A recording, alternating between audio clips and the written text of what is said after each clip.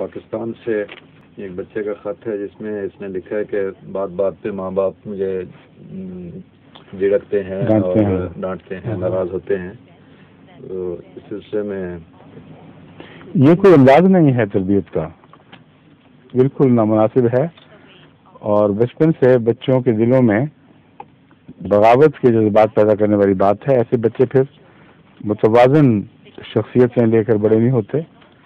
بلکہ کئی قسم کے احساسات کمپنی کمتری میں مبتلا ہوتے ہیں اور پھر جب باپ کے خلاف بغاوت ہوتی ہے تو پھر دین کے خلاف بھی بغاوت شروع ہو جاتی ہے۔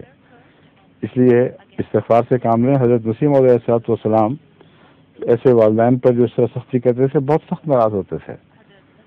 یعنی اپنی تکلیف کا اظہار فرماتے تھے کہ تم کیا ظلم کر رہے ہو۔ اگر کوئی بچہ تم سمجھتے ہو کہ ہاتھ سے نکل رہا ہے تو دعا کرو۔ سب سے پہلی تدبیر اور سب سے اہم تدبیر دعا ہے اور یہی تدبیر ہے جو تقدیر بن جایا کرتی ہے، ورنہ آپ کی ہر تدبیر بیکار ہے۔ تو بچوں کو پیار اور محبت سے گلے لگا کر ساتھ چلیں، یہ زمانہ نہیں ہے۔ اگر پہلے تھا بھی کبھی، اس طرح بچے ڈنڈے کے زور سے اپنی اصلاح کر لیں۔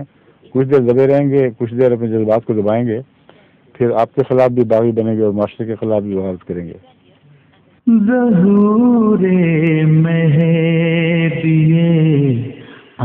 ظہور مہدیے آخر